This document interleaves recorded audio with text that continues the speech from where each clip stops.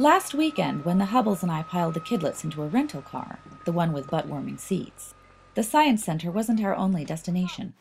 Our journey also found us standing outside a bookshop, specifically this one, another story bookshop on Roncesvalles Avenue in Toronto. This is that rare and precious gem of a bookstore that holds surprises and delights at every turn, like this wall of pictures by young patrons above a rack of books chronicling the history of rock and roll, or the juxtaposition of these books about Gandhi with David Priestland's alternative history of modern capitalism.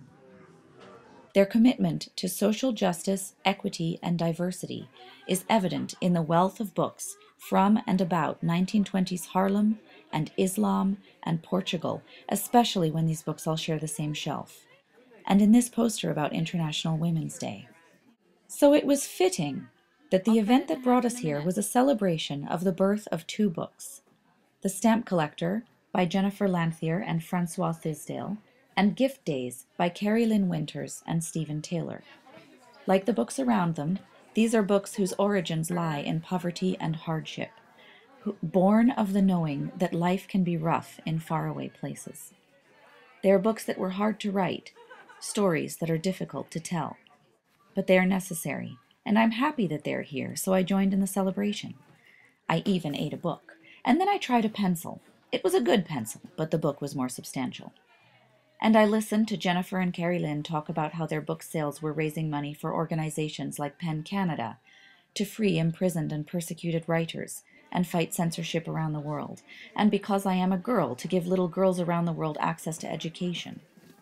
And as I listened, it occurred to me that a store that puts a shelf of cookbooks and food memoirs next to a shelf of books about the scarcity of Earth's resources is the perfect place to appreciate the irony of a story about a writer who was imprisoned for writing a story, and a book about a girl who was not allowed to read. As I stood surrounded by a wealth of words and ideas and stories, the realization that the children who made these stories both possible and necessary may never see this many books in their life lent a bitter sweetness to my own contribution. $26 seemed an especially low price to pay for a year of schooling for a Ugandan girl.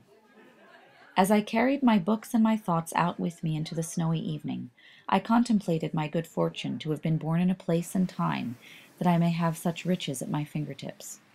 I completely forgot about the butt warming seats. Thanks for watching.